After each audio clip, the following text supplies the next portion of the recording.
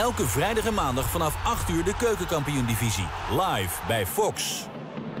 Historisch gezien wint RKC niet zo vaak van MVV. En zeker niet in Maastricht.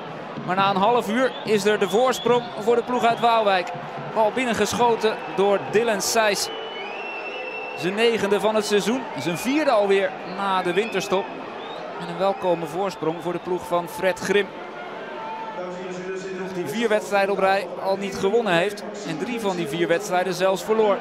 Het gaat steeds harder regenen naarmate deze wedstrijd vordert. Maar MVV komt wel op gelijke hoogte. Binnengeroeid door Anthony van den Hurk.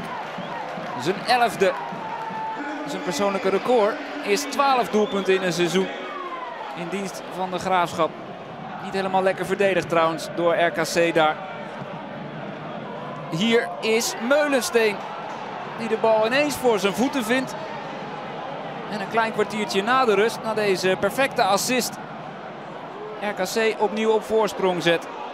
Hier gaat zo door de regen. Overtreding van Ippel. Strafschop gegeven en binnengeschoten door Dylan Seys. En een kwartiertje voor tijd is deze wedstrijd dan wel beslist. De paraplu van Grim heeft het begeven. Maar het zal hem een zorg zijn, want zijn RKC gaat winnen. En dat gaat het doen met 4-1. Want invaller Maatsen bepaalt uiteindelijk de eindstand ruim in het voordeel van RKC. MVV deed het goed in de derde periode. Maar het verliest de laatste wedstrijd wel ruim.